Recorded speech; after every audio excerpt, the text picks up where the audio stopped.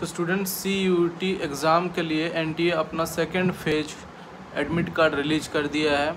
तो आपका एग्ज़ाम पच्चीस, छब्बीस, सत्ताईस और अट्ठाईस, ये चार दिन में आपका एग्ज़ाम आ रहा है। पहले तो सिटी इंटीमेशन स्लिप आ गया था तो अभी ये एडमिट कार्ड रिलीज़ हो गया है तो आप फटाफट जाओ वेबसाइट और अपना एडमिट कार्ड डाउनलोड करा, कर लो। और अभी थोड़ा अच्छे से चेक कर लो। आप जम्मू कश्मीर और मणिपुर का स्टूडेंट्स हो तो क्योंकि आपके लिए जो फ़र्स्ट फ़ेज़ वाले जम्मू कश्मीर का कैंसिल हो गया था और जो बाहर वाले सेंटर को सब श्रीनगर शिफ्ट करने के लिए प्लानिंग चल रहा था।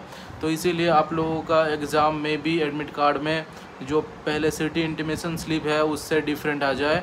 तो इसीलिए आप थोड़ा ध्यान से देख लो आपका एडमिट कार्ड में क्या सेंटर आया है और कौन सा लोकेशन पे है।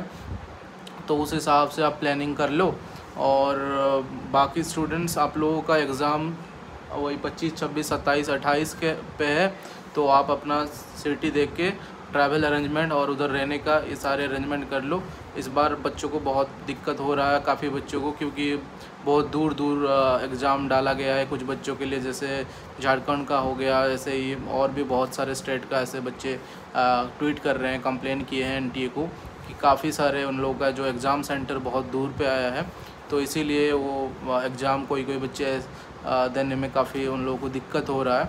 तो हमें भी इस साल एनटीए उस बात को ध्यान में रखते हुए नेक्स्ट ईयर कुछ सुधार लाएगा, जो अपना बच, बच्चे सब अपना पास ही एग्ज़ाम दे पाए, अपना सिटी में ही एग्ज़ाम दे पाए, कुछ करेगा। इस साल तो आप लोगों को वही प्रॉब्लम झेलना भी ही पड़ेगा। तो I hope all the best for your exam अभी एडमिट कार्ड डाउनलोड कर लीजिए, फिर मिलेंगे नेक्स्ट वीडियो में. Thank you for watching